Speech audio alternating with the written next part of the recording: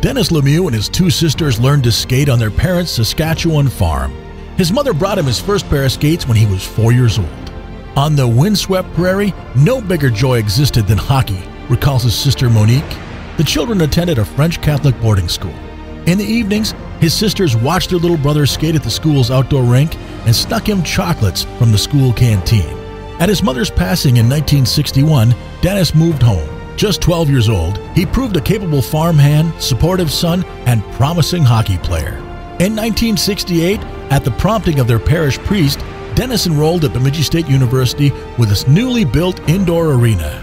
As a freshman, Denis had high hopes for making the hockey team. I'll do my very best, he wrote home to his father. I hear it's a great club, and the loud, cheering fans pack the arena. A few weeks later, things were looking up. He scored twice in an inter squad game and wrote his dad that he was joining the big club. Wearing number 8, Denis thrilled fans with his hockey finesse. He could dangle, says line mate Bruce Falk, and he could score goals. In 1971, he scored six goals in one game against Wisconsin Superior.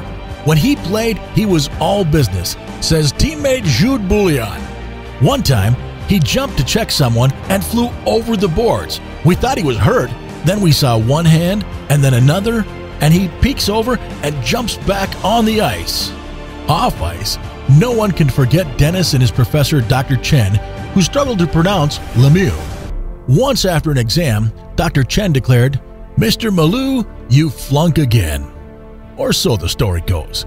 He was always the life of the party, recalls teammate Bruce Falk.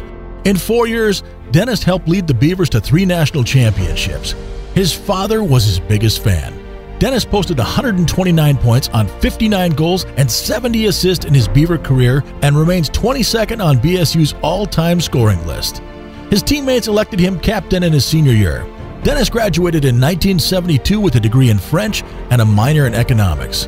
Named an All American in 1971, he is one of BSU hockey's 50 legends for 50 years. He played four seasons of minor pro hockey out east, where he met and married Jan, his Boston girl. In 1976, Denis and Jan moved to the farm to assist his father. Together, they welcomed children Nicole, Danielle, Colin, Clark, and Ashley. Denis, a good father, farmer, and community leader, remains a much respected hockey figure in Saskatchewan.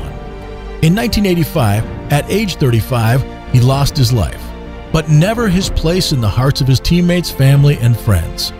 He was our joy of life, says Sister Monique. His children and many of his family, which includes nine grandchildren and one great grandchild, are here today to celebrate his hockey legacy.